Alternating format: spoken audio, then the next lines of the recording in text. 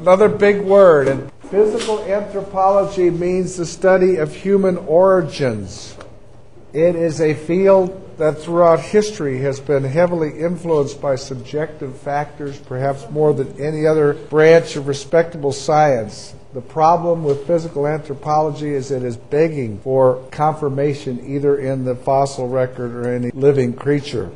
But the pressure to try to find evidence for early man, the so called missing links, is so severe that it has led to a lot of fraud.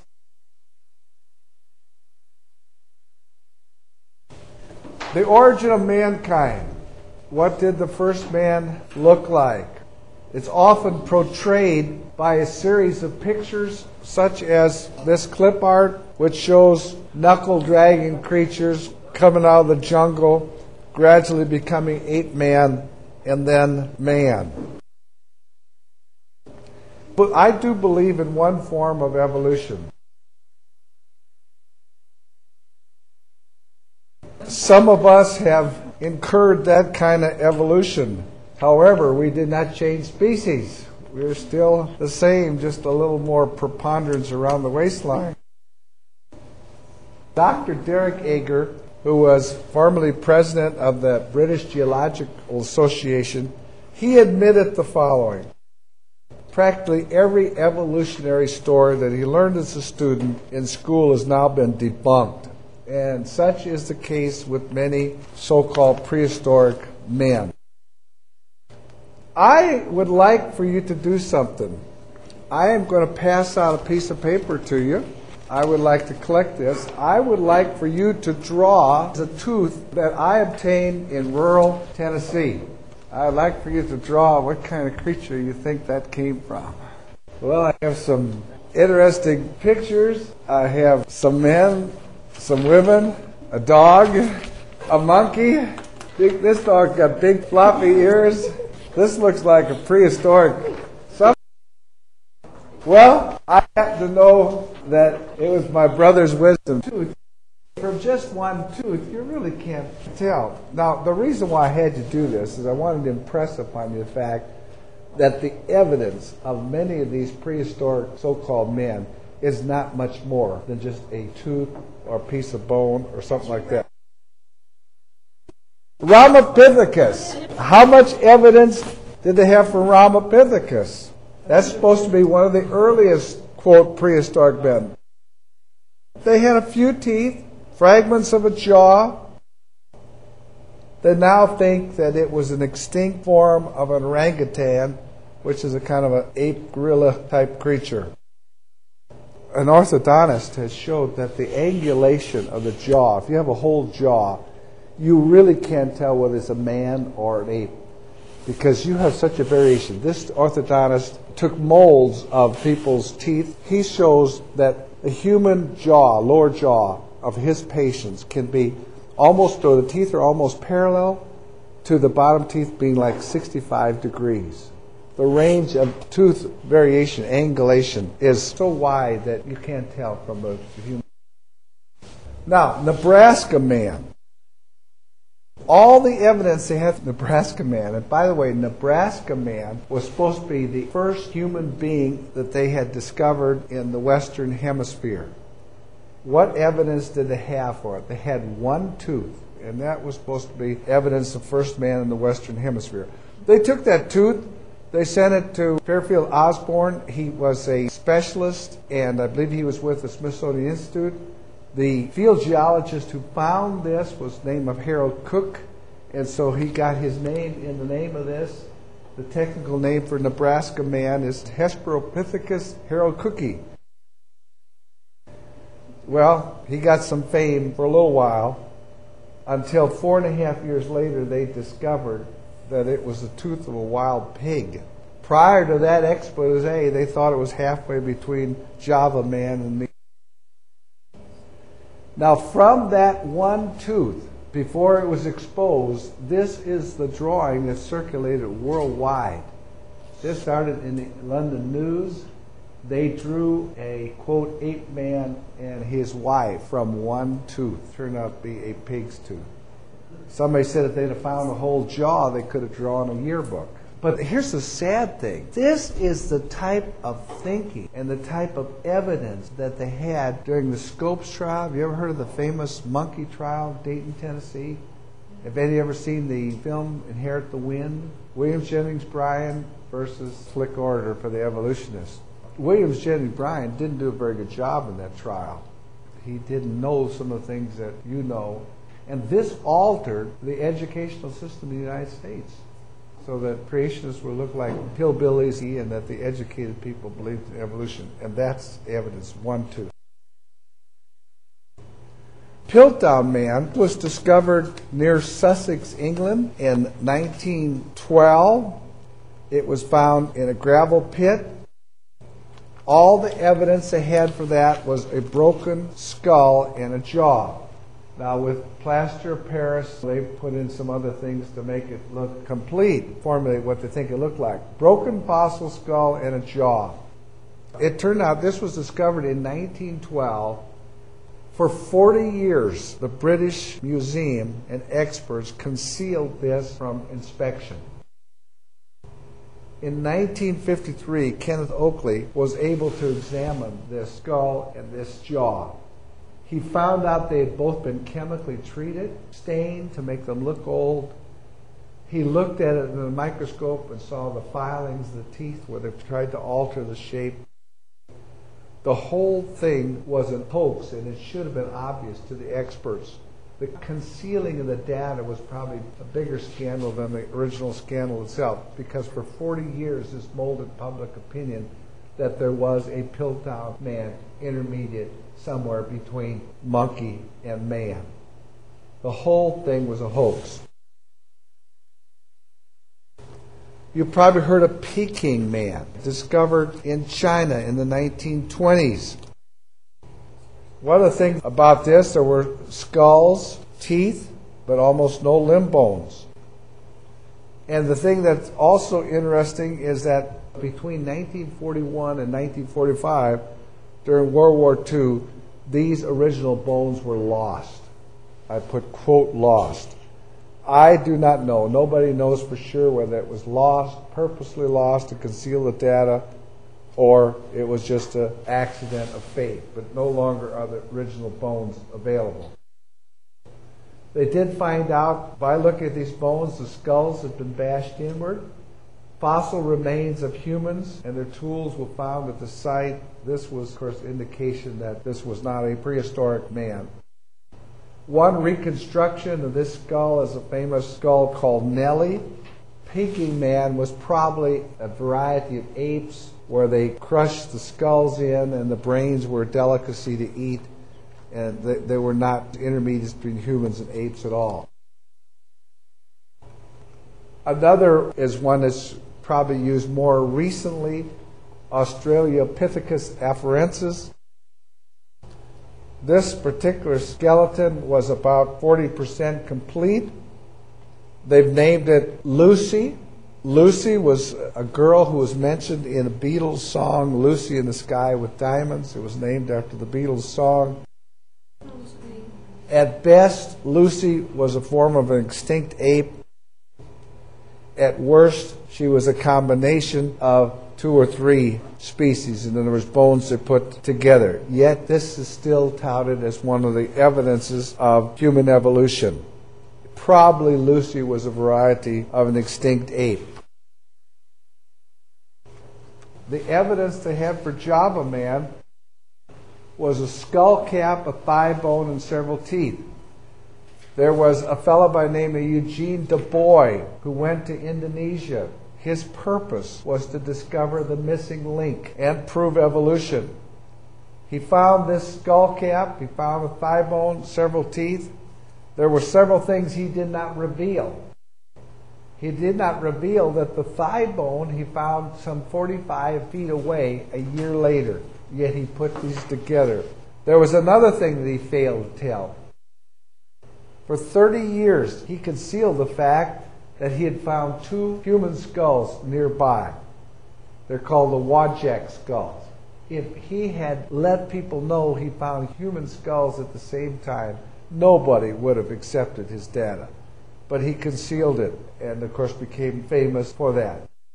But he did admit at the end of his life that it probably was belonging to a giant gibbon, which is a form of ape. Then you've heard of Neanderthal man. They found partial skeletons, first found near Neander, Germany. That's where they get the name Neanderthal man, found in 1856. And evolutionists seized upon Neanderthal man as a missing link between apes and man. Neanderthal man was reconstructed to show somebody who walked stoop over, head set far forward, gave the appearance of an apish looked man. It is now felt that Neanderthal man was fully human, suffering from some bone deformities which were caused by diseases. I have a, a, picture of a professional wrestler who wrestled years ago. He was a Frenchman by the name of Maurice Tillet, but his professional wrestling name was the Angel. Doesn't he look like an angel? He had some features that were different from most human beings. His head and his face were very large. His hands and his feet were thickened, and his torso was broadened. He was wrestling in the Boston area, and some anthropologists from Harvard, one of them by the name of Carleton Coon, and some of his colleagues, they invited him to Harvard the next day for measurements because they looked at him and thought this guy looks like a Neanderthal man. His measurements conformed to the Neanderthal man dimensions, but he was not any kind of prehistoric form. He was actually quite highly educated, quite cultured, but apparently he suffered from some kind of endocrine disorder, especially from the overfunctioning of the pituitary gland. Well, what did the first man look like? Did he look like some kind of knuckle dragging creature that came out of the jungles on his four feet and, and just started to walk upright, and finally invented tools, and finally became modern man? Is that what the first man looked like? I think the Bible gives an answer to that. Adam was made in what? The image of God. Jesus is the express image of his person. Jesus is the image of the invisible God. Christ is the image of God. Adam was the figure of him that was to come. God had in mind a human body when he occupied it. God fashioned Adam to look like that human body. I do not believe that Adam drug Eve by the hair. He had a club in one hand, that type of thing. That he looked scooped over and so forth. I believe he was fully formed. I don't think Adam had glasses. I don't think Adam had braces. I don't think he had them stooped over. Adam was fully formed, 32 teeth, 206 bones, 650 muscles. Adam looked like Jesus Christ. I've had the privilege of working with Bible schools for a long time. In my career as academic dean, it was my responsibility to get the caps and gowns ordered.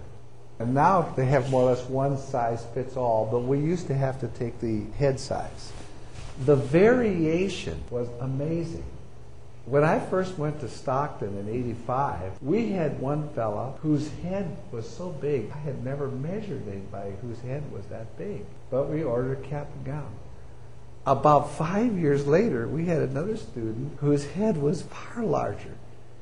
His head was so large that his mother had to sew in a piece of blue cloth so that he could wear a cap and gown.